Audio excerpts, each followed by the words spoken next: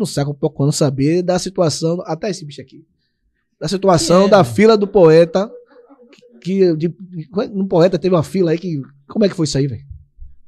É uma ocorrência que me traz muito prejuízo hoje também, né? então esse cara é ali pra judicar. Não, na verdade essa é. Bício Dora, né?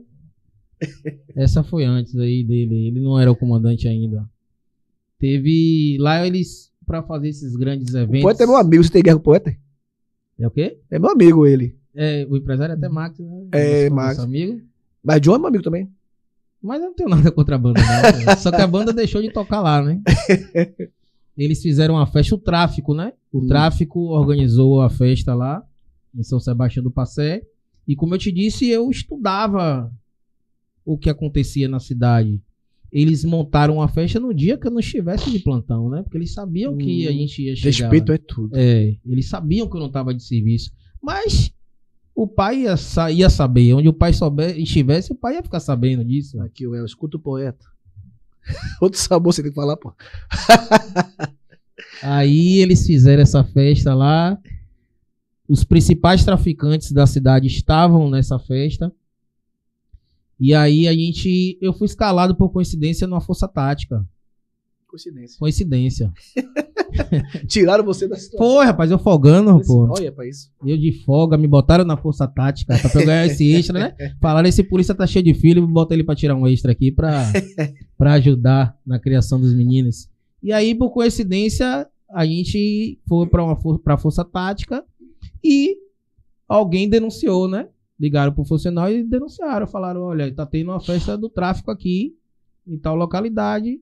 Os traficantes estão aqui, dessa maneira, tal, tal, tal. A gente foi pro local, as bandas locais tinham se apresentado e era o momento do poeta começar a tocar. Eles iam tocar.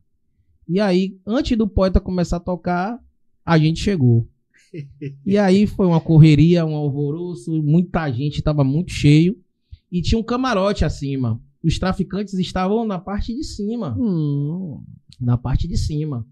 E a gente por, como eu falei, eu tinha um book de fotos dos meliantes. Eu sabia quem era quem.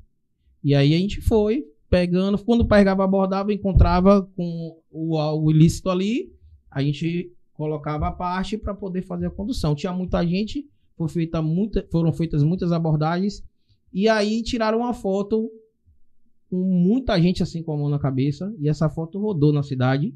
E aí foi aquela notícia, aquela aqueles comentários, a gente conduziu os meliantes que estavam lá com algo ilícito, conduzimos para a delegacia. Alguns deles não estão mais vivos hoje, muitos aí já não estão nem mais vivos. Acontece. E não foram nem em ocorrência com, com intervenção de policiais. Foram eles mesmos. Eles mesmos. A que mais tem. É, eles mesmos. Na guerra de tráfico que havia dentro do município, acabaram tombando. E aí o poeta depois, o, a mesma pessoa que estava à frente do evento, tentou levar o poeta de